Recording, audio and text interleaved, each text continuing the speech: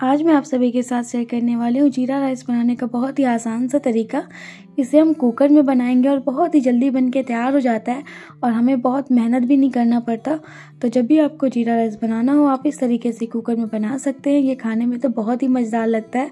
आप इसे किसी भी सब्ज़ी या दाल के साथ खाएँगे ना आपको बहुत पसंद आएगा। फ्रेंड्स मैं हूँ जूही और स्वागत करती हूँ आप सभी का अपने चैनल आयांस किचन में। तो चलिए आज की बहुत ही सिंपल और मज़ेदार सी रेसिपी बनाना शुरू करते हैं। जीरा राइस बनाने के लिए मैंने यहाँ पे डेढ़ कप चावल लिया है। ये बासमती चावल है, ये बहुत ही आसानी से मार्केट में मिल जाता है। तो सबसे पहले हमें चावल को धो लेना है अच्छे से। हमें इसे भिगा के नहीं रखना है, बस इसे ऐसे ही वॉश कर लेना है दो से तीन बार। तो यहाँ पे मैंने इसे वॉश कर लिया है। दो से तीन बार इसे अच्छे से धो लेना है। और अब हम इसे ऐसे ही छोड़ देंगे, तब तक हम आगे की तैयारी कर लेते हैं।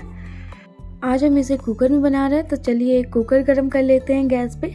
और जैसे ही कुकर गर्म होगा, हम इसमें डालेंगे तीन से चार बड़े चम्मच देसी घी। देसी घी में ही जीरा राइस बनाए इससे टेस्ट बहुत ही अच्छा आता है। और जैसे ही घी गर्म होगा, हम इसमें डाल देंगे एक बड़े चम्मच जीरा। जीरा राइस है तो जीरा डालना तो बनता है। और अब हम जीरा को थोड़ा सा चटकने देंगे और इसे थोड़ा सा चला लेंगे। जीरा जैसे ही फ्राई हो जाएगा, हम इसमें डालेंगे दो हरी मिर्च, इस तरीके से बड़े पीसेस में कट करके और एक बारीक कटा हुआ प्याज। इससे टेस्ट बहुत ही अच्छा आता है बट आप चाहे तो प्याज को स्किप भी कर सकते हैं। प्याज डालने के बाद हम इसे अच्छे से मिला लेंगे और इसे थोड़ी देर हम पका लेंगे। तो इसे मीडियम फ्लेम पे बीच बीच में चलाते हुए हमें थोड़ा से प्याज को पका लेना है। हमें इसे ब्राउन कलर का नहीं करना है, बस थोड़ा सा पकाना है, जिससे इसका जो कलर है वो थोड़ा सा चेंज हो जाए पहले से। तो यहाँ पे मैंने प्याज को फ्राई कर लिया है। आप देख सकते हैं कलर अब हम इसमें चावल को डाल देंगे जो हमने धो के रखा था। यहाँ पे मैंने सारे चावल को डाल दिया है। अब हम इसे अच्छे से मिला लेंगे।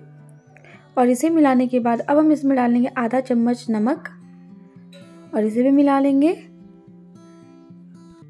इसे मिक्स करने के बाद हम इसे 10 सेकंड तक ऐसे ही पकाएँगे। उसके बाद अब हम इसमें डालेंगे पानी।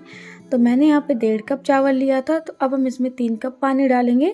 तो यहाँ पे मैंने तीन कप पानी डाल दिया, जितना भी आपको चावल लेना है, उसकी डबल क्वांटिटी में आपको पानी डालना है और पानी डालने के बाद इसे अच्छे से मिला देना है।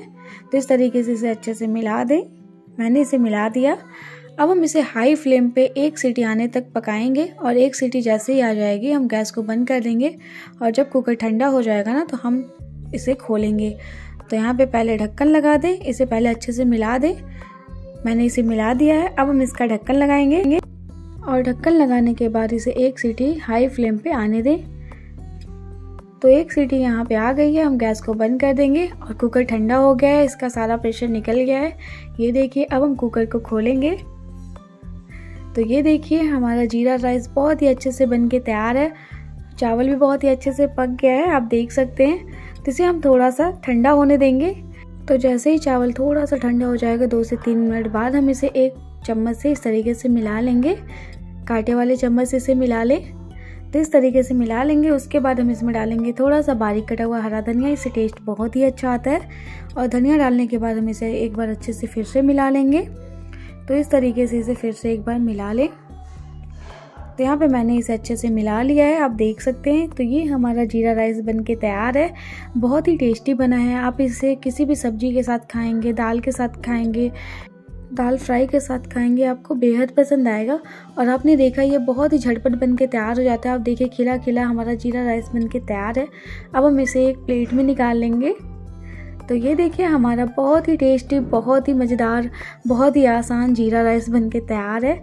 इसी तरीके से जब भी आपको जीरा राइस बनाना हो, आप ज़रूर बनाइए, क्योंकि इसे बनाना बेहद आसान है और बहुत ही जल्दी बन के तैयार हो जाता है और खाने में तो बहुत ही मज़ेदार लगता है। इसे कोई भी सब्ज़ी बहुत ही अच्छी लगती है। तो आप भी तो आप भी जीरा राइस इसी तरीके से बनाएँ और इस पर हम थोड़ा सा धनिया से गार्निशिंग कर देंगे। तो ये मैंने दाल मखनी के साथ बनाया है और इसका टेस्ट तो बहुत ही अमेजिंग है। तो आप भी इस रेसिपी को ज़रूर ट्राई करें क्योंकि ये रेसिपी आप सभी को बहुत पसंद आएगा। और रेसिपी ट्राई करने के बाद कैसी लगी कमेंट करके बताना बिल्कुल ना भूलें। और अगर आपको हमारी रेसिपीज़ अच्छी लगती है तो प्लीज़ वीडियो को लाइक शेयर और मेरे चैनल को सब्सक्राइब करना बिल्कुल ना भूलें। तो चलिए मिलते हैं एक और ऐसी ही नई और मज़ेदार सी रेसिपी के साथ। तब तक के लिए टेक केयर एंड बाय